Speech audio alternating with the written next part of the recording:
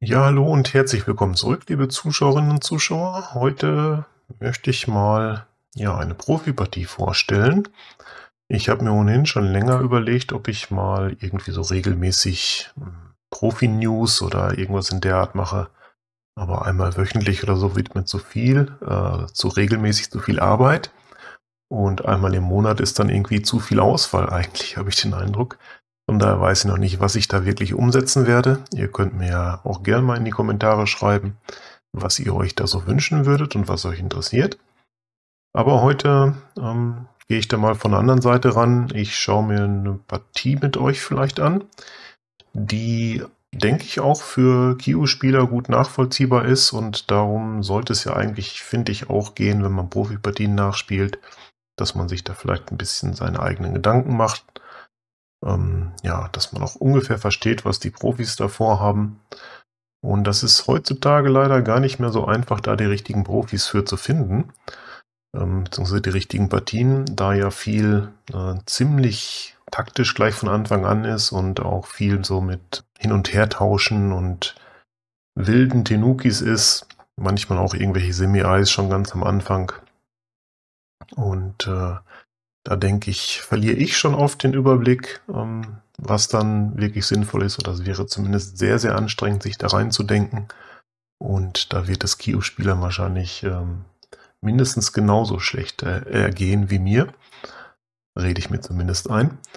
Und äh, ja, wenn ich gefragt werde, was für Profipartien oder was für Profis äh, ich empfehlen könnte zum Nachspielen, dann ähm, nenne ich da meistens einen Hane Naoki. Das ist ein japanischer Neundan, der vor einiger Zeit auch schon ein paar Titel gewonnen hat.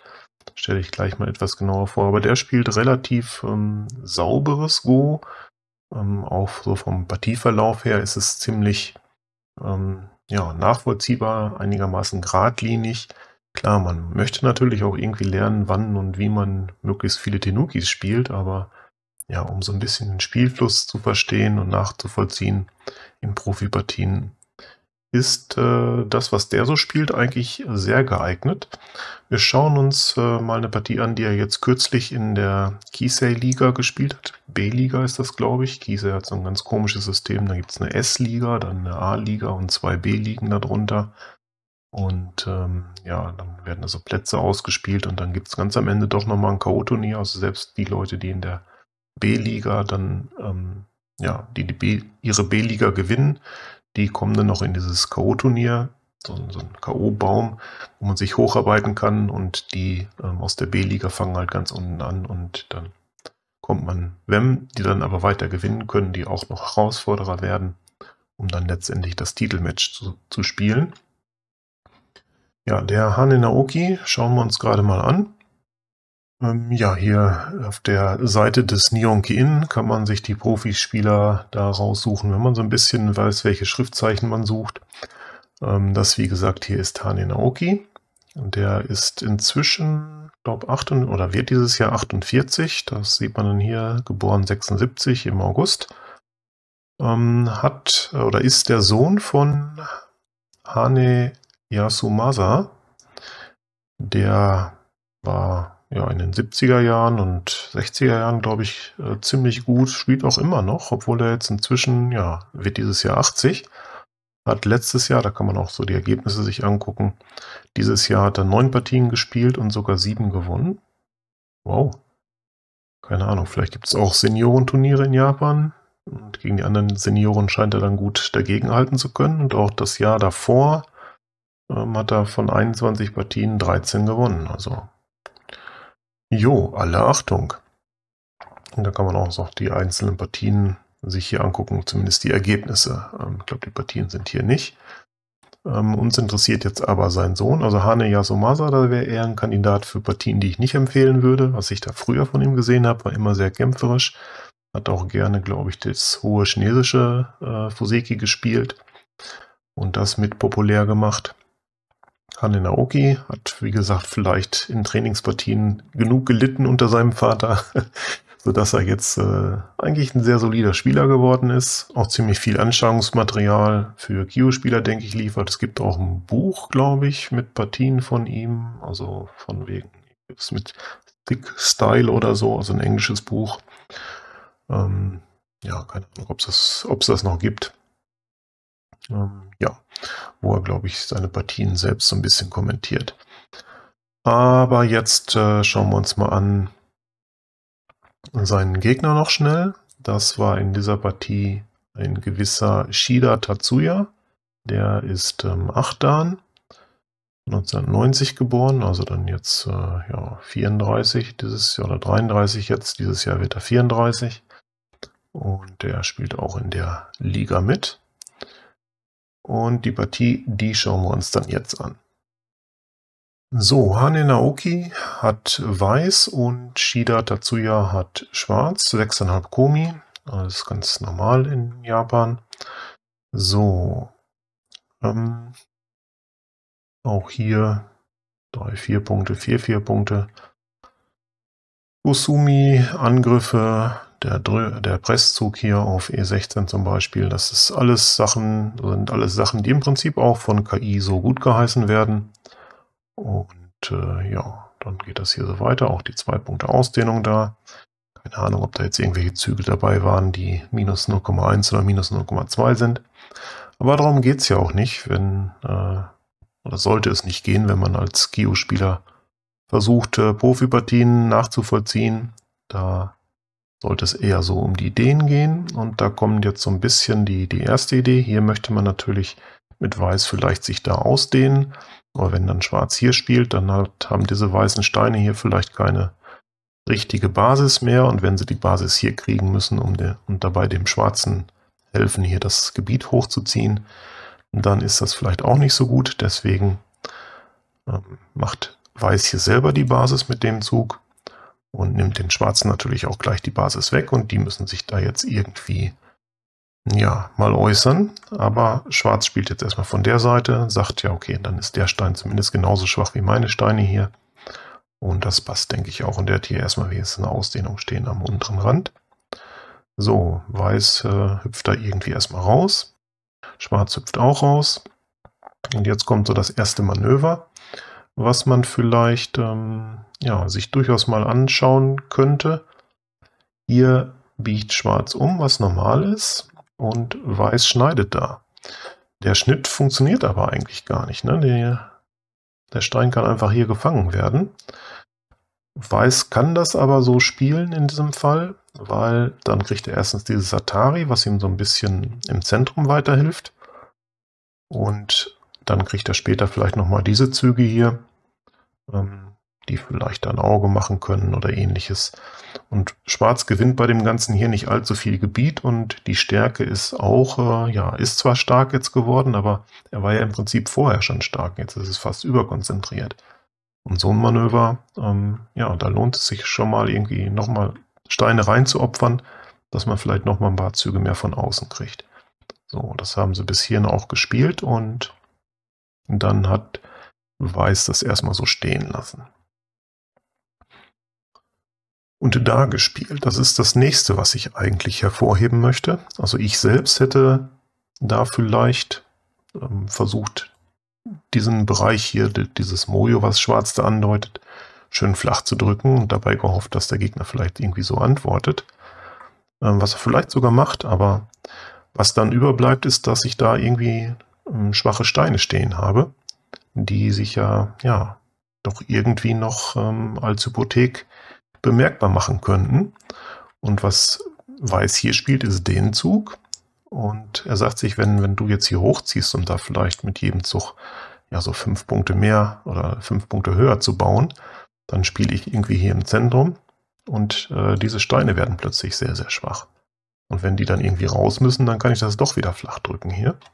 Das ist die Idee dieses Zuges hier, den ich äh, also für mich mal aus dieser Partie mitgenommen habe dass man da hm, dem Gegner vielleicht auch zumindest erstmal das äh, Mojo so ein bisschen gönnen sollte und nicht gleich äh, sich selber zu viele Probleme schaffen soll. Schwarz spielt dann gleich irgendwie da und Weiß geht dann hier gleich auf diese Form. Das ist ja immer noch hier so mit Piep, eventuell ein Schnitt möglich oder hier ein Schnitt. Da ist also eine ziemliche Schwäche in der Form und jetzt hat er durch diese zwei Züge hier auch schon verhindert, dass ähm, Schwarz das hier wirklich hochziehen kann. Klar, er kann jetzt irgendwie hier vielleicht auf der vierten Reihe Gebiet machen, aber wenn er das dann so macht, das wird letztendlich ähm, auch maximal 20 Punkte groß und Weiß kriegt dabei dann ja auch ein paar eigene. Ähm, also ein schöner Zug, ganz irgendwie sanft gespielt, finde ich, aber ähm, passt irgendwie in die Form alles und macht Sinn. Schwarz verteidigt sich dann da, ja, und jetzt werden diese Steine hier von Weiß vielleicht doch wieder schwächer, deswegen kümmert sich Weiß da jetzt drum. Macht hier ein schönes Doppelhahne, weil zum Beispiel dieser Stein hier jetzt nicht so wichtig ist. Danach kann ähm, Schwarz ja immer noch nicht hier schneiden, so, so kann man nicht hier decken. Und auch, ähm, ja, so, so kann man ja immer noch nicht schneiden, weil es ein Selbstatari ist. Ähm, darum spielt Schwarz natürlich nicht da. Die andere Sache, die man sich vielleicht vorher überlegen sollte, ist, was hier so passiert, wenn er da rauszieht. Aber dann gibt es ja hier auch ähm, ja, Möglichkeiten, vielleicht sogar so, so und so diese Gruppe einzusperren. Da bin ich mir dann aber nicht ganz so sicher, ob das nicht äh, vielleicht nach hinten losgeht. Ja. Aber man könnte vielleicht auch so, so und so spielen und hat dann irgendwie hier schon, ja, anderthalb Augen. Hier unten lässt sich aber, wie gesagt, auch noch was machen. Und dann kann man hier im Zentrum vielleicht so, so und so dann immer noch angreifen. Ähm, also da wäre schon die Möglichkeit gewesen, einen komplizierten Kampf äh, zu starten irgendwie. Aber entweder haben sie den durchgerechnet und dann für nicht gut befunden oder ähm, haben halt beide irgendwie nicht den Stil, direkt auf die Kacke zu hauen. Ähm, Schwarz hat da, wie gesagt, einfach rausgestreckt und Weiß hat dann hier gedeckt. Sehr schön. Schwarz spielt dann einmal da, Weiß ähm, ja, muss da irgendwie dann auch zurückziehen. Und Schwarz macht hier am linken Rand dann sein Gebiet, aber eben auch nur ja, so drei Reihen Gebiet, 15 Punkte, vielleicht hier ein paar mehr. Ja, und jetzt ist diese Form natürlich äh, eine, die jeder kennt, äh, der eine Zeit lang Go gespielt hat, hier diesen, wenn man hier nicht schneiden kann, weil es dann Geta ist, ne, dann kann man hier die Form mit dem Zug gleich mal abfragen, ähm, ob und wie er da decken will. Wenn Schwarz so deckt, gibt es den als Vorhand. Wenn er so deckt, gibt es den vielleicht mal als Vorhand. Ähm, Schwarz hat hier etwas aktiver vielleicht gespielt, weil der Schnitt geht hier immer noch nicht. Ähm, man muss jetzt ein bisschen aufpassen, also wenn man jetzt Atari sofort gibt, dann äh, ja, läuft hier keine Treppe, weil das sofort Atari auf diese 2 ist. Aber ähm, wenn Schwarz dann ein bisschen aufpasst, dann spielt er erstmal den und jetzt kommen diese Schnittsteine hier nicht mehr raus. Deswegen kann Weiß 48 nicht spielen. Biege dann hier um, Schwarz streckt da raus und jetzt, ähm, ja, jetzt liefe diese Treppe weil man da einmal mehr Atari geben kann. Und hier hinten steht ja ein schwarzer Stein. Aber das ist nach wie vor ein Stein, der so ein bisschen auf dem wunden Punkt dieser äh, schwarzen Form steht. Und das nutzt äh, Weiß jetzt ziemlich schön aus. Er schiebt da einfach weiter. Ähm, jetzt zum Beispiel, wenn hier ein Umbiegen käme, dann kommt dann dieser Zug. Und wenn hier so ein Doppelhahne kommt, was man dann ja meistens machen möchte, dann geht eben, eben sowas hier und dann dieser Zug. Ähm, ja, und jetzt kann man eben nur noch irgendwie hier versuchen zu decken, aber dann wäre man hier unten ja abgeschnitten. Und äh, das ist nicht gut. Ne? Und auch der hier funktioniert ja nicht, weil das Atari ist. Und der hier auch nicht, weil dann sofort die Steine weg sind. Ähm, jo. Deswegen spielt oder ist Schwarz mehr oder weniger genötigt, hier einfach nochmal zu strecken. Und ähm, ja, hat im Prinzip äh, hier ein bisschen Stärke bekommen, aber Weiß hat hier deutlich ähm, schöneren Einfluss gewonnen, finde ich. Ähm, spielt dann auch nochmal da. Es ist immer noch hier dieser, dieser Schnitt, ne, der so ein bisschen die schwarze Form ähm, stört. Deswegen muss er da jetzt einfach zurückziehen und dann hat Weiß ja jetzt auch die Möglichkeit, den Stein später nochmal mit G5 abzuholen. Ja, und dann spielt er hier versucht hier vielleicht ein schönes Mojo aufzubauen, dachte ich. Ähm, also wenn jetzt einer am rechten Rand Gebiet macht, dann ist es auf jeden Fall weiß. So, so. Und jetzt spielt Weiß auch noch den. Das ist jetzt der letzte Zug, der diesen Schnitt hier androht. Und äh, Schwarz deckt da. Und dann hat er das endlich gelöst, dieses Problem, nach ungefähr 20 Zügen, die hier die in dem Bereich hier gespielt wurden. Und jetzt äh, na, noch, noch, noch eine Vorhand, aber dann haben wir es hinter uns. So, Schwarz äh, verteidigt da sein Gebiet und das ist so ein Zug, der hat mich ein bisschen überrascht und die KI fand den auch nicht so gut, aber auch nicht so schlecht, wie ich ihn fand, weil dahinter wohl doch noch ein bisschen was ging. Das sehen wir dann gleich auch in der Partie. Ich finde das eigentlich nicht so wichtig. Ich hätte jetzt eigentlich am liebsten hier gespielt. Das sieht doch einfach wunderschön aus, oder? Das alles Gebiet würde, auf jeden Fall. Und ähm, so einen Zug würde ich mir ungern entgehen lassen. Schwarz hatte aber, äh, also Weiß hat aber eben hier gespielt. Und Schwarz spielt dann selber da. Folgerichtig. Weiß geht dann da unten irgendwie rein. Ja, jetzt sitzt er doch ein bisschen taktischer. Und jetzt kommt hier die Idee, die Weiß mit dem Zug hier hatte, dass er nach dem Umbiegen hier einen Kreuzschnitt spielen kann und sich jetzt entweder, wenn Schwarz irgendwie von hier Atari gibt, hier noch so ein bisschen reindrückt, ne? Oder eben, wenn wie in der Partie Schwarz einfach zurückzieht, dann gibt Weiß hier Atari und fängt hier einen Stein und dann ist das Ganze sogar in Vorhand, weil er immer noch drohte, wenn, ähm, wenn Schwarz jetzt irgendwo spielt, ähm, hier ein Co aufzusetzen, bei dem ja, Schwarz deutlich mehr zu verlieren hat als Weiß. Und deswegen hat Schwarz das wohl gleich rausgenommen. Ja, und dann sind da gerade mal irgendwie so 12 Punkte, 13 Punkte oder so übergeblieben von den vielen, vielen, nach denen es am Anfang mal aussah. Problem, das Weiß jetzt aber hat, ist diese zwei Steine hier, die müssen irgendwie noch zum Leben kommen nach Möglichkeit. Das wird jetzt bearbeitet, aber auch immer noch nach so einigen interessanten Zwischenzügen. Das hier zum Beispiel ähm, verteidigt hier so diverse Schwächen. Er da raus, schneidet hier. Und ja, hier ist noch ähm, hier ist noch ein Schnitt, der wohl nicht direkt funktioniert. Ne? Und erstmal muss Weiß, glaube ich, auch hier für seine eigene Form noch so ein bisschen sorgen. Das tut er da jetzt. So, dann deckt Schwarz da auch. Ja, der Abtausch hier ist auch interessant. Wenn er jetzt der, der, Weiße hier, äh, der Schwarze hier gedeckt hätte, dann könnte Weiß ja irgendwie so trennen und äh, ja, die Ecke muss noch irgendwie was für sich tun. Und die Steine hier sind abgeschnitten. Klar, die, schwarze, die weißen Steine hier sind auch noch nicht ganz aus dem Gröbsten raus. Aber das äh, ist letztendlich, denke ich, für Weiß vorteilhaft, wenn es so käme. Deswegen hat Schwarz ja auch hier gedeckt. So, Weiß spielt dann hier weiter und das war, glaube ich, auch eine kleine Ungenauigkeit. Also Weiß will jetzt einfach hier leben, vielleicht vorher noch so ein bisschen was ähm, ja, da zusätzlich rausholen. Hier mit irgendwie einem Voranzug hier oder so kam es, glaube ich, am Ende. KI ähm, sagte mir hinterher, dass der Zug hier ganz schön gewesen wäre. Ich dachte, was soll der denn bringen? Da wird diese Gruppe ja noch schwächer, wenn er hier deckt, aber dann hat Weiß diesen hübschen. Und äh, Schwarz kann die Gruppe irgendwie oder diese drei Steine nicht mehr wirklich anbinden. Denn äh, so kommt es. Und wenn Schwarz es auch irgendwie wahrscheinlich schafft, hier zu leben, dann sind plötzlich doch ähm, diese Steine hier alle ja,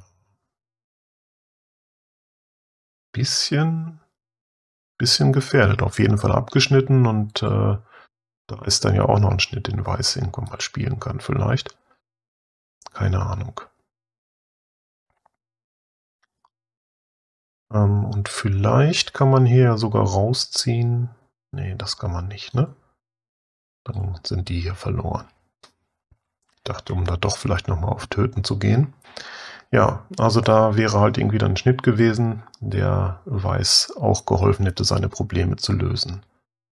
Hier zum Beispiel ist ja dann dieser Zug hier vorhand und der fängt den einen Stein ja schon.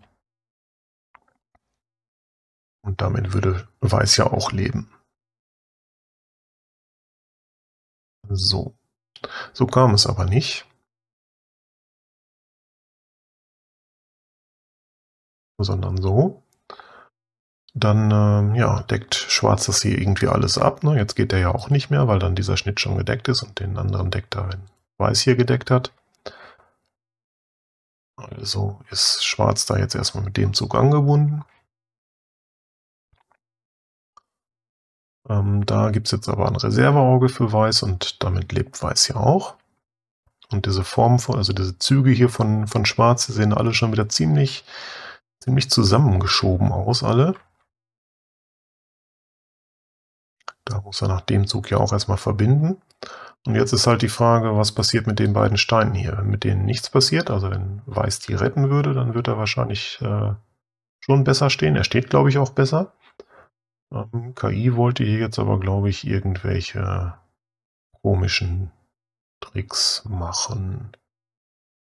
Ähm, da kam irgendwie am Ende, glaube ich, sowas dabei rum, dass man den Zug jetzt hier nicht hier beantwortet, sondern eben hier. Dann lässt man diesen Stein abschneiden und weiß, äh, reicht das dann eben auch irgendwie, um die Steine dann doch letztendlich opfern zu dürfen. Und da blende ich vielleicht gleich einfach mal die, die KI-Variante ein.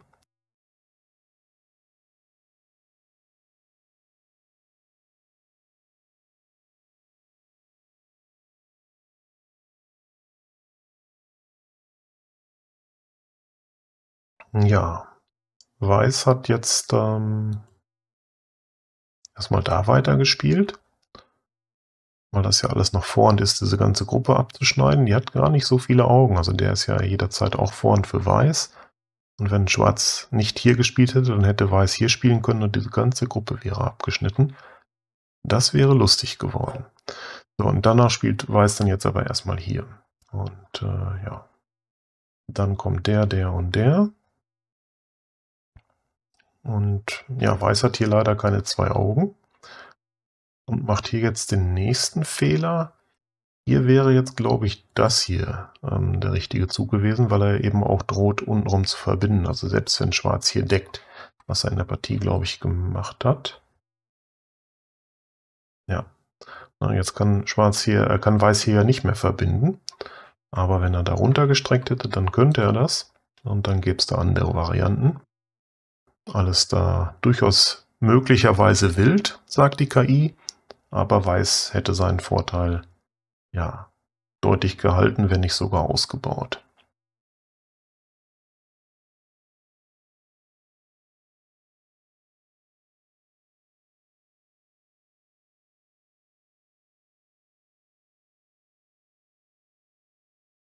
Von irgendwie so fünf Punkten. Also die Partie war die ganze Zeit sehr knapp. Ähm, denn beide haben ja, wie ich finde, ziemlich sauber und äh, gut gespielt. Ist ja auch eine Partie, ich glaube, Kiesay Liga, die haben da wahrscheinlich äh, vier, fünf Stunden Bedenkzeit pro Spieler. Da können sie auch mal ein, zwei gute Züge sich überlegen. Ne? So. Aber ich denke, inzwischen waren sie vielleicht auch beide schon Richtung Bioyomi unterwegs. Und äh, das erklärt dann vielleicht auch ein paar mehr Ungenauigkeiten, die da jetzt so langsam aber sicher kommen. So. Ja, jetzt geht das hier so weiter. Ähm, auch hier hätte Weiß wohl jetzt irgendwie noch da spielen sollen, um dann irgendwie, frag mich nicht, hier einen Kampf anzuzetteln. Auch da blende ich die Variante mal ein. Das äh, so genau wollen wir da jetzt eigentlich gar nicht reingehen. Ne?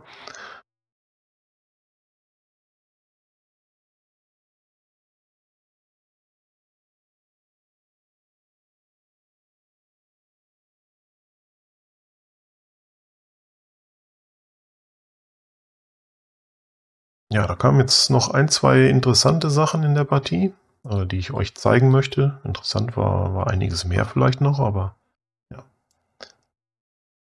auf die ich äh, hinweisen möchte. Das war jetzt erstmal, dass Weiß hier einfach von hinten weiter schiebt, womit diese Steine ja mehr oder weniger tot aussehen. Ne? Aber dadurch ähm, hat Weiß hier im Zentrum, ja, wo er jetzt natürlich nochmal spielen muss, ein paar Steine gewonnen, also auch irgendwie gut 10 Punkte vielleicht gemacht und eben diese Gruppe hier auch sicher gerettet. Schwarz spielt dann da, fängt die Gruppe wahrscheinlich und macht dabei auch noch schönes Endspiel. Ne? Und Weiß hat jetzt, äh, er versucht da erstmal in der Ecke irgendwie ein Co aufzusetzen, aber Schwarz glaubt ihm das erstmal nicht. Ähm, ist auch ganz hübsch. Jetzt gibt es hier ein paar Zwischenzüge, ähm, die auch mal hier sich noch angucken, ob die schwarze Gruppe überhaupt schon lebt.